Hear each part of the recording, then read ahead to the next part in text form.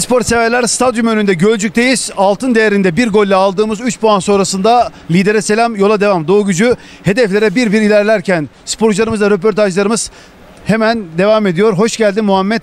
Maç içerisinde yakaladığımız bazı pozisyonlar var. Kırılma anları var. Genel anlamda maçı nasıl değerlendirirsin?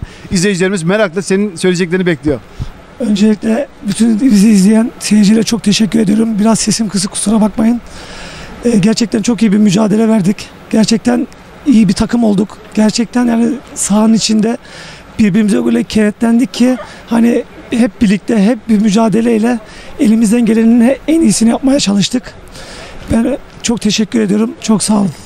Teşekkür ederiz. Hemen diğer bir sporcu takım kaptanı gemiyi kurtaran kaptandır her zaman. Özellikle Burak'ın da girdiği pozisyonlarda yaptığı mücadele görülmeye değerdi.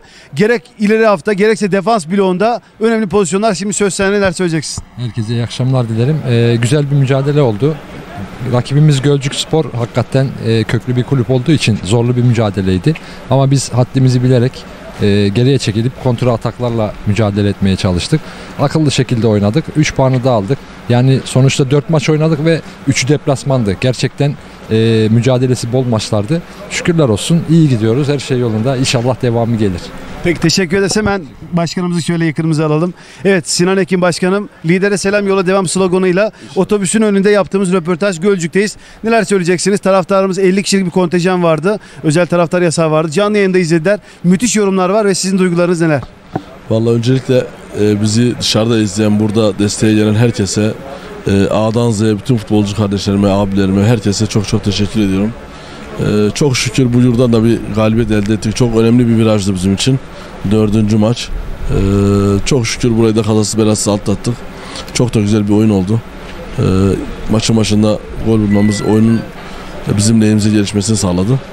E, inşallah bundan sonraki süreçte de ben zaten güveniyorum baştan beri söylediğim gibi arkadaşlarımıza biz sezon sonuna kadar lider bitirip inşallah e, üçüncülük yoluna e, güzel bir şekilde gireceğiz inşallah. E, özellikle burada Gölcük camiasına, Gölcük başkanına e, varıncaya kadar herkese çok çok teşekkür ediyorum. Misafirperverliklerinden dolayı inşallah biz de İnegöl'de aynı şekilde onları ağırlarız. E, biz de mahcup kalmayız inşallah. Özellikle maçın sonunda Erdal Evet. Hocam ve yönetim kurulunu alkışlayan bir Evet. taraftar tribün vardı Tribün maç var. sonunda. Tebrik ettiler.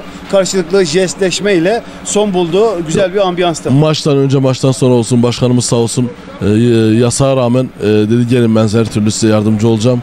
E, zaten bize yasak çok geç e, tebliğ edildi. Ona rağmen çok güzeldi. Ben başkanıma özellikle temel başkanıma çok çok teşekkür ediyorum.